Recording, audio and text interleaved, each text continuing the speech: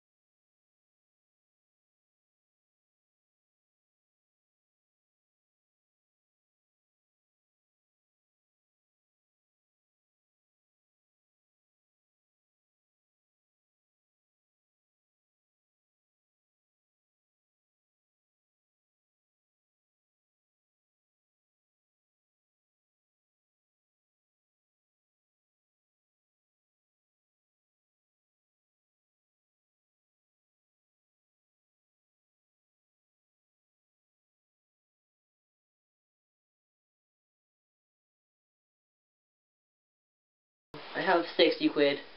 I'm just like, put it in the cart and go! But, I got some stuff, so I'm gonna show you what I got. Okay. First of all, I got the AT-AT driver.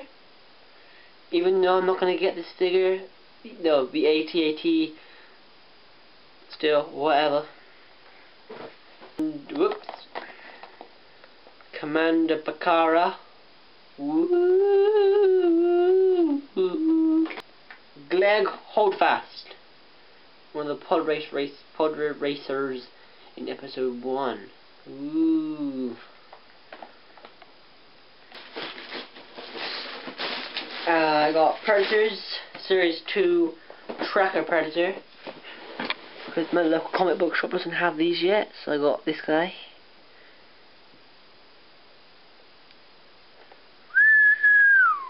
So expect a review of him, because he's epic.